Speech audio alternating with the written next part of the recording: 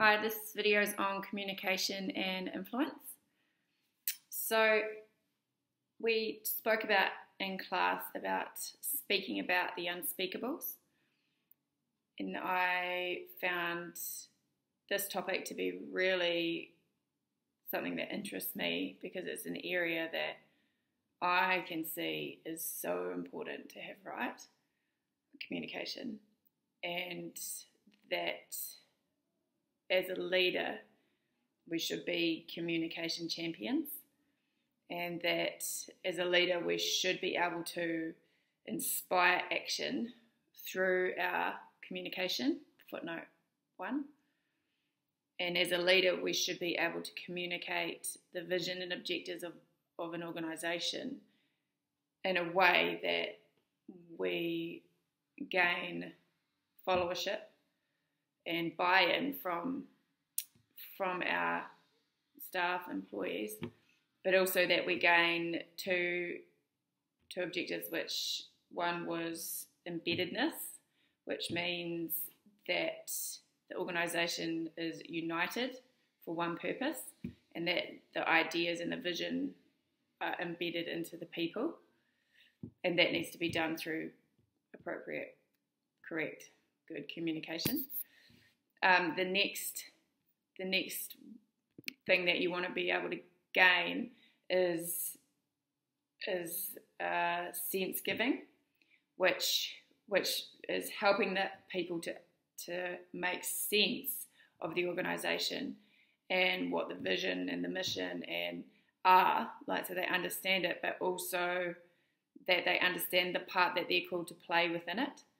So it's a it's sense giving and so, as a part of a communication champion, who is a person who can communicate effectively and to to their followers and to the organisation, they should be able to gain that embeddedness and that sense giving. I also really liked what Sam said in class, footnote two, about speaking about the unspeakables. And I have seen in my own life in many, many, many situations. I think it's definitely a part of New Zealand culture um, that often we don't speak about the things that need to be spoken about as a people, but I've also seen it within our own business where there's times when you have to have conversations with people and you don't want to have them, but you know for the good of the whole organization, if you don't have them, then things are going to go wrong. But having the courage and the boldness to do that is is quite difficult and but a good leader should be able to speak about the unspeakables and just thinking of the example of the story in the textbook on page 259 footnote 1 in April in 2010, a Transocean oil rig digging a deep sea well for BP exploded in the Gulf of Mexico, killing 11 workers and spewing oil into the sea for months. And it goes on to say, like, why didn't anyone anyone see this? Why did this happen? You know, like how how did this how did this happen? And the sad answer within the story is that people did did see that there were issues but didn't have the courage or the guts to actually to say anything. And it goes on to say that people felt that they could speak about issues that could be resolved straight away but when it came to the these big issues that they could see around health and safety and and just operation operations that were happening that weren't right people weren't saying the right thing. They were and often it, it's people are more concerned with like their own welfare and not upsetting anyone or you know also it's profit driven but they're not they're not seeing the bigger picture of if these little issues aren't spoken about and aren't resolved then this the result is that people can die and the environment is destroyed and yeah so i was really inspired by this idea and concept of speaking about the unspeakables.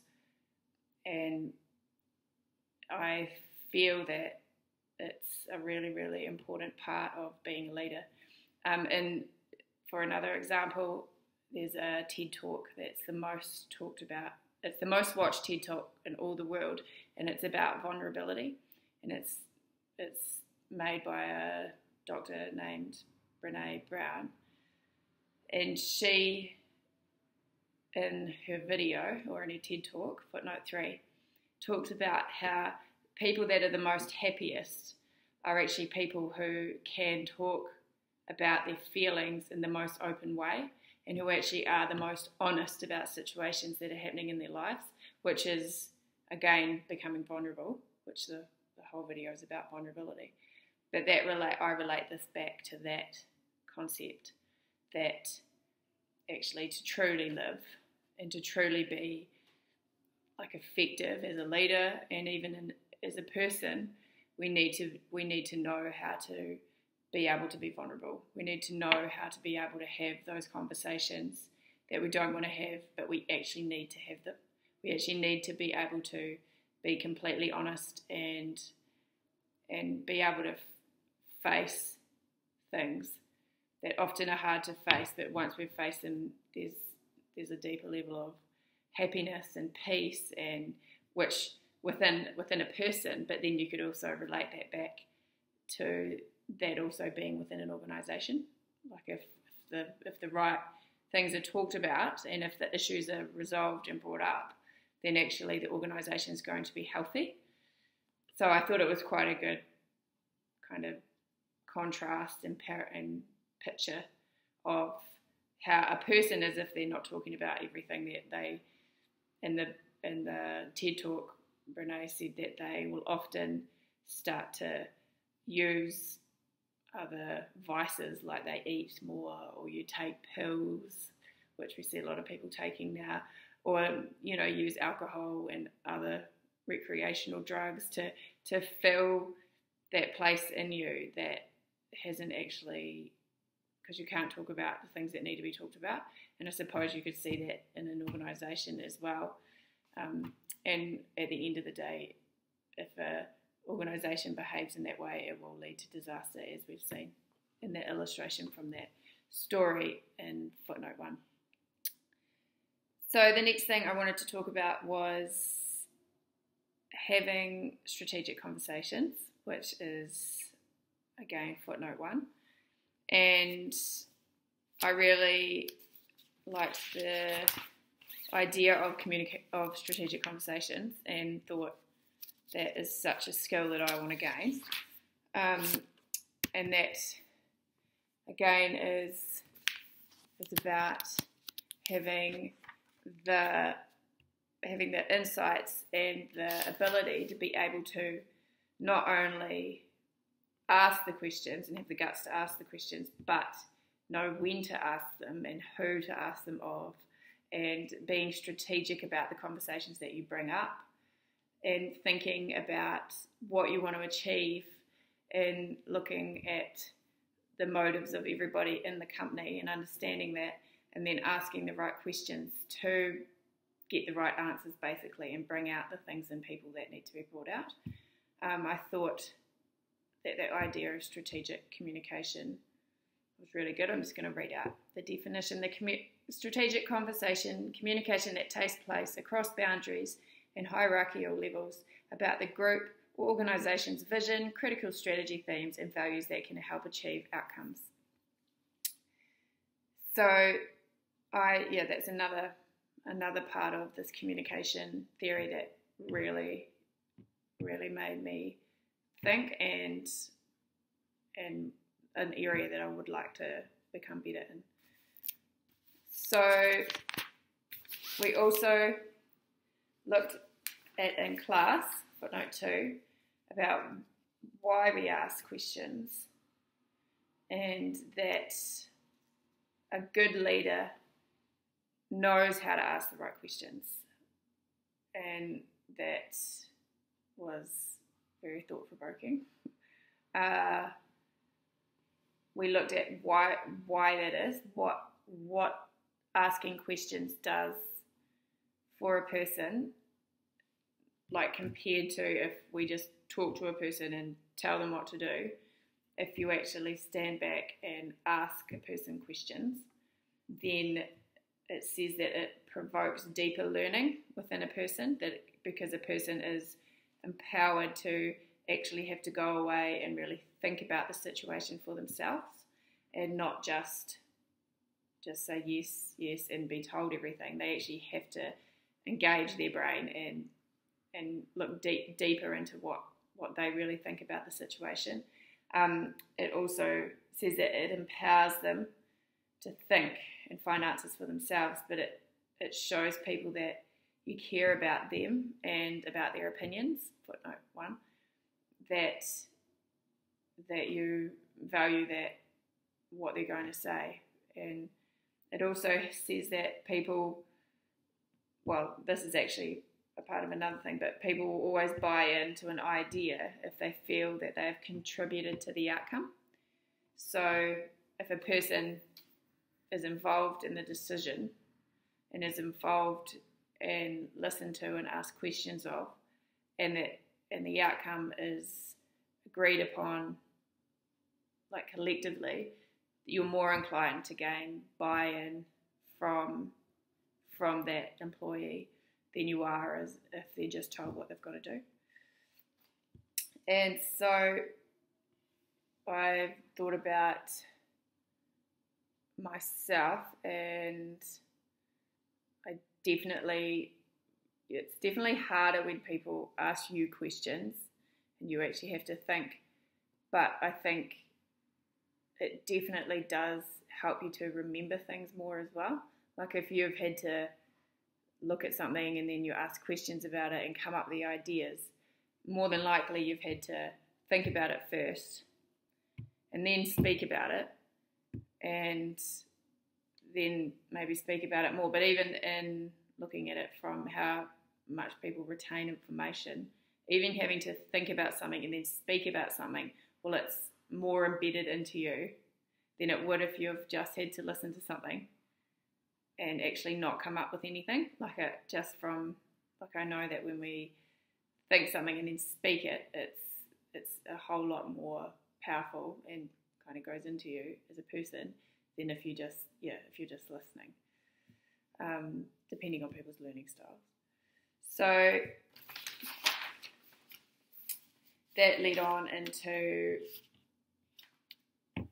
the listening part of this theory, um, footnote one, and that as a leader, we should be more interested in listening than talking, and to, but to be able to use this strategically. Um, and I, I really could see that this is an area that I want to work on. Um, failing to listen to someone will often communicate to that person that they don't matter. And when I think about myself and when I've been in situations where I've, like, I, I'm with somebody, but you can tell that they're actually not really listening, it, it does really annoy you. It does. It but it, it does make you feel like, oh, you're not actually interested, you don't actually care about me, or like it, it really does. And um, but it's such a hard, such a hard thing to do. Um, but if as a leader, it says that it's the greatest sign of respect that you can show someone is by actively listening and and and really intently trying to understand what they're trying to say to you. Because if often too, if we if someone says something and we're not really listening, you can hear it in a completely different way to actually what they're trying to say. And so I was really challenged with this area. Um, and I've done some self assessments on it, which I'll record later. But it also says in the textbook, footnote one, that if you're a person who, if you're a leader that isn't listening to their staff, and then actually it decreases commitment and motivation, which I can relate to um, and just in situations that I've been in with like bosses or um, just even friends, you know, that you have, and you can tell, you know, there's certain friends that you're around and they just don't listen and they don't really care about what you're saying. Um, or, and they always, like, you'll say something, but then they'll start to talk about themselves, and you're like, you didn't even really listen to what I just said. And that, yeah, I just know how that makes me feel. And so I'm really, really, again, trying to actively work on this area of my life because I want to, one, be a really good, one, be a communication champion, but also a really good listener, which obviously the two go hand in hand. The other concept within this theory that I'd like to talk about is the idea of dialogue versus discussion. Footnote one, and that which I, I thought was a really was really good. Like I thought it was a really good way to look at how we should communicate and the difference between what will achieve a better result.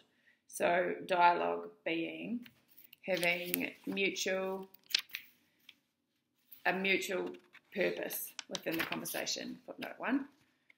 Um, whereas discussion is more having your own agenda or one purpose. The person that's having the discussion has got their purpose, but they're not actually mutually opening up the conversation to allow everybody else to contribute. Um, so within that bit, I thought as a, and it's got here as as a leader, like as a leader, you can learn to be a better listener. You can focus your total attention on what other people are saying and work hard to listen, use eye contact, ask questions, and paraphrase the message and offer positive feedback. Yeah, so that was a part of the listening. But also that comes into this, you know, idea of dialogue, which which ultimately should should mean that it creates more of a collaborative result where your dialogue is opening up questions and ideas within the group and allowing for others to speak and add their ideas and and with the person that's leading listening and taking all of that in. Um, so it's more focused on allowing the group to help to solve the problem or the situation and allowing everybody to be able to feel that they're valued and have an opinion, then a discussion which is one person's agenda and this is what's going to happen and yeah. So so yeah, so it says here um, that footnote one that to um, dialogue is to slow down and to listen more than you talk, to focus on the whole outcome and the whole group, seek common ground within the people that are around you. To many people have pieces of the answer and and making sure that everybody is heard, and that the, result is is that we you should be able to see a bigger picture resolved have long term innovation and a solution, fix the big issue, and all on board for the decision. Whereas a discussion outcome, which is focus on the one person's interest, can often be can often be um, offensive and defensive behaviour going on within the conversation, and it can be short term solutions. You're using your authority to get the job done rather than allowing your, yourself to influence the whole group and gain their commitment. And often it's using like a an agenda. You, you're using your power again, your position to to have the conversation, and that usually um, the result's never as good as if it comes through a dialogue based conversation. So, so that was very interesting, and, and just wanted to talk a little bit about the superintendent's case study that we did within this topic, and that again was really interesting to look at and to think about how the superintendent had passed the information on to the principal, and then the principal had passed the information on to the teachers, and how within that you could see the communication channels had been really broken down, and with the result being that the teachers came back and you know were like defensive about it and not positive about, about it at all. And I thought, like looking back at what it means to be a communication champion, you can see that neither the superintendent or the principal achieved that embeddedness, which is that united, you know, of um, that united vision within the organisation for everybody being on board, or the the sense sense making, which sense giving, sorry, which helping people to understand and make sense of the idea.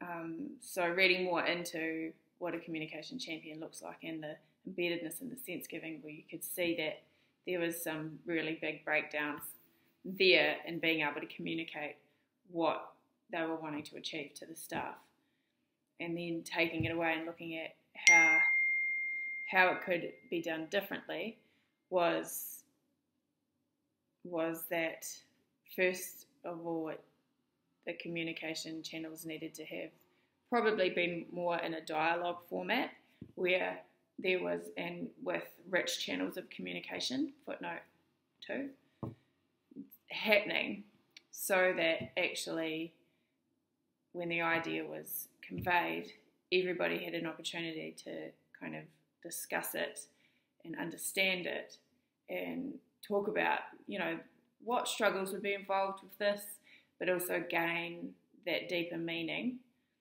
and that deeper understanding of actually what was needing to happen. And that could have been done through the superintendent's communication, first of all to the principal, being more more open and taking a little bit more time to actually convey exactly why they needed this and and then having some examples in place of of how others may have achieved what they were going to achieve, which was the performance objectives. So, so reading through the theory and then applying this to that case study, you can see that there was a lot of steps in the process within within that communication that happened from the superintendent to the principal to the teachers that could have been a whole lot better.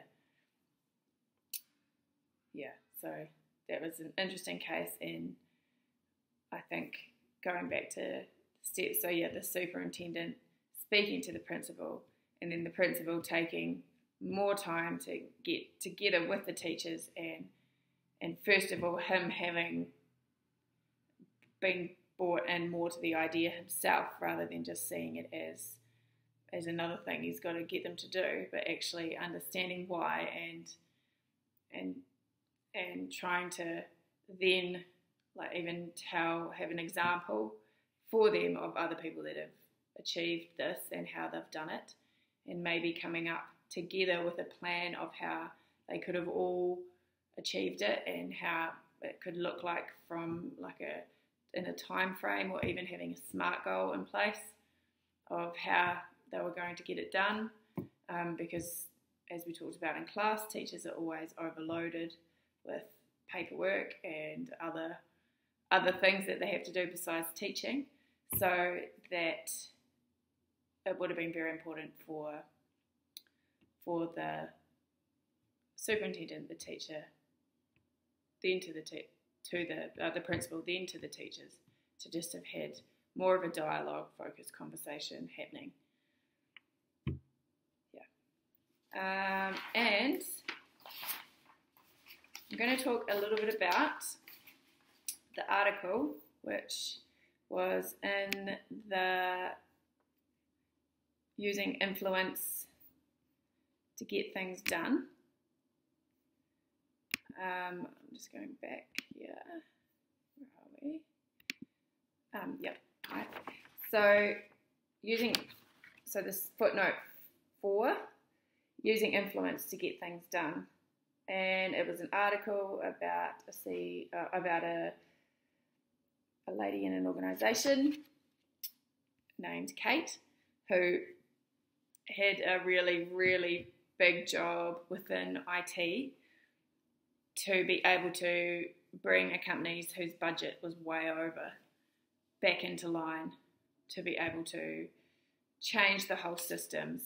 But it talks about how a person who can have influence is a person who can achieve the company's goals in a way that can they can face like huge opposition or at the beginning like without even having talked about it first you know there's massive opposition to the to the to the um, solution that you have. But that that a, a major major part of having influence and succeeding is being able to communicate in a way that will be able to bring everybody on board and be able to, like as we've just talked about, you know, get that embeddedness, get that sense, sense giving from from your colleagues. And so within the article, it talked about five concepts that they've seen within people that have achieved great, great results in companies, having that ability to communicate and influence in a way that they can change major problems that an organisation is facing. And if you look out there now, majority of people that earn the best money are people that can come in and they can actually solve massive problems for companies, problems that no one else wants to face. But these people have the ability to be able to come in and to be able to look and communicate and sit back and have the have the strategies needed to be able to get the problem solved. So, so just looking at this case, it says the first one was to build up courage to raise difficult problems, which is again what we just spoke about earlier about being able to speak about the unspeakables. These people come in and they ask, they have the ability to ask the questions that often nobody else has the courage to ask. They they will go straight there in a way though that is received. So they leave their personal agenda at the door, and the pers- the personal success that they gain, which is obviously underneath. For a lot of people, they want to be successful, but this person who can have the biggest influence and change the problems will come in and they're not about themselves. They're not about getting themselves ahead. They're not about furthering their own career. They're about getting this, they're about dealing with the problem. They're about how can I benefit this organization and how can we how can we do this? Like it's it's it's not about them. And yeah, their personal success will come from serving their company well. Footnote four, not from not from power struggles or from having to, you know, being right. It's their uh, main focus is how can I serve this company well? How can I solve this problem? Number three was to rise above the game, but not, but don't ignore it. And this means that they, the biggest key was they enlist the support of their bosses. And I've put down they have mentors because I thought, well, that kind of correlates into that. They have mentors, and and it goes on to say that you never want to be alone on an island. So, and to seek to seek out the people that are in front of you, um, opinions, and be open to that, and to be open to receiving their input that that is another important part of gaining this influence and being able to transition a company is that you're yeah you're you're you know that you might have a bigger solution but you're not but you're still maintaining those relationships and and, and receiving the advice of your bosses and your mentors I suppose it keeps it's a humble attitude really.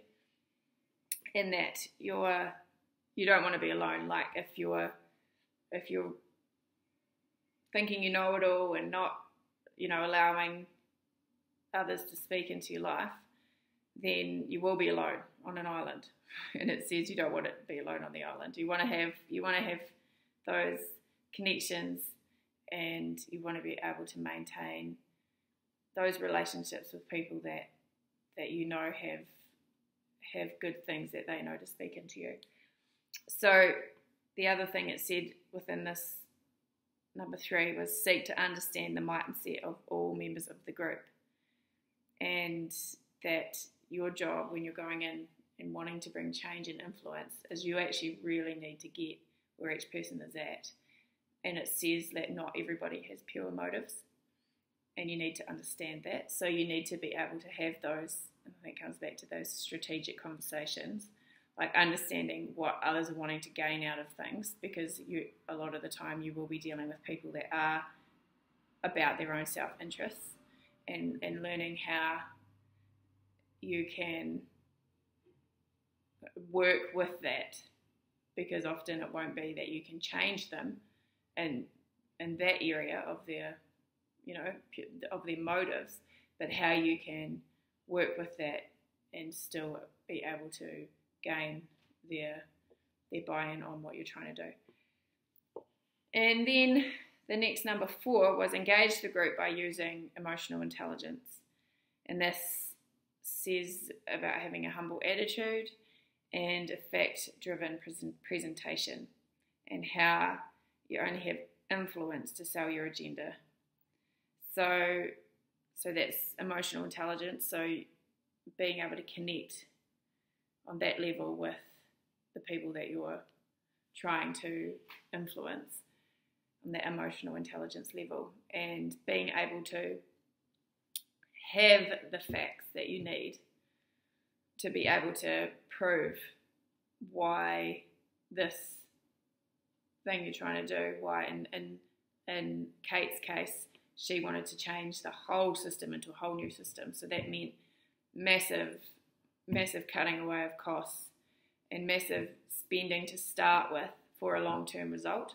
But she had to be able to have the facts there to be able to prove that this would work but be able to do it in a humble and humble way that wasn't I know everything, you know nothing, but in a way that she can present the facts, but then still be connecting with the people and allowing for them to be able to voice how they feel and yeah, um, yeah, not to it says not dominate discussions, and and again I put that back into to using looking at the theory, it's having again a conversation that is a dialogue conversation. It's keeping keeping it so that you're not allowing your emotions to get involved, but you're you're answering asking the questions and you're listening and you're putting your idea out there and being able to get feedback and yeah. And people will feel will buy in when they feel they have contributed. And that's again what we talked about earlier is that if people can have that embeddedness and that sense giving within within them, then you've got you've got their buy-in to what you're trying to do. Goes on to number five, last point. Be tenacious because decisions do not necessarily guarantee actions, and that says it's about you know, that silence is something to be concerned about, positive or negative silence, because often that means there's no action that's happening. Or usually, if a person receives an idea and they're and they're going to do something about it, they're like, right, this is what we're going to do. Let's do this. Let's do that. But if people are receiving the idea but not actually discussing it, and and then even if it's you know this won't work, this won't work, at least you're getting that so that you've got somewhere to go and somewhere to work work with and you can then address the barriers that they feel like they're facing but that you need to be you need to be encouraging communication you need to be drawing out action and then having a follow-up plan on how how it is we're going to get through this how we, what are we doing from here? Like i think about you know like um, objectives, um, MBOs, and also SMART goals, and you know, like going away from these kind of meetings and actually having some real clear direction in place of okay, so we've talked about this, we've come to this decision, what are we going to do about it? So they said that that was another really important part of, of a person who can have that influence and be able to bring about huge change in organisations and deal with major problems, that there were five traits that they have. And in the end, Kate did end up achieving her goal of being able to help this IT company transition to a whole new place, and she did that by meeting one on one, first of all, with all the people that were important. Like she was strategic about that, about the person that she needed to have those strategic conversations with. And she she brought in to their mind the idea that she had. She explained to them in probably a dialogue way why why this needed to happen. Um, talked through some of the probably asked some of the big questions that she needed to ask and got got them thinking. And then when she went into the meeting with everybody, she had already had that time to be able to communicate one on one and and get that buy-in from the whole group. And in the end, she was able to transition that whole company into a whole new place, and they and and get them to spend more money initially, but they did gain a long-term benefit from that, and eventually were spending less. Um, and so it was a good story and a really good example again of of how communication can bring huge change for you as a leader and how leaders need to be communication champions and how leaders need to know how to ask the right questions and how leaders need to be able to listen and be strategic and realize that it's not all about what what you know as a leader, but it's about how can you enable others to bring what they know into the package as well as what you know and make that work in the best way possible. So I really did really this is a this is a big area in my life that I want to work on and become really really good at. Um, it's an area that I may choose to study in later on. Communications is something that I'd like to look at a bit deeper um, because I can just see from own, my own life experiences of dealing with people and having a business and even having children and running groups that I run that actually, if you can't communicate properly, or you know, if, if you can't say something to someone and get them to understand, then it's just useless. and if you can't have a conversation with someone without causing the whole situation to blow up and everyone gets offended and upset and then it's useless like if you can't if you can't and that's you know my goal was i want to be able to come in and ask the right questions and i want to be able to be the type of person that can have a conversation with someone that can change their life or can change the organisation because of the conversation that you've just had. Oh, and coming down to how you've done it, what you've asked, and then how the person's received it. And yeah, I see, I see this is really, really important. Um, there was one other thing that I wanted to talk about, which was candor, and that that was find my notes on that. That was in how honest candor is, how honest and forthright expression of a leader's thinking. So it's an honest, forthright expression of a leader's thinking. So it's being candor means you can be direct, honest about exactly what you think and feel. And this is something that again, I don't think is a real cultural thing in New Zealand. I think that like we often talk around the issue, but it takes a while for us to actually just go, boom, this is the issue, and that I'm more a, I am more a person who is more straight to the point. I don't really like to talk about nothing. I'd rather be talking about things that matter. So, so I, I think this is another really important part of communication, and really liked what said. Um, people, you know, that people will know exactly what is happening for them within the job. And it said um, that there was a story about Jack Welch. He'd go into organisations and he um, would say, So, who's had a real honest evaluation of their work in the last year? And he said only 10% of people would put their hand up.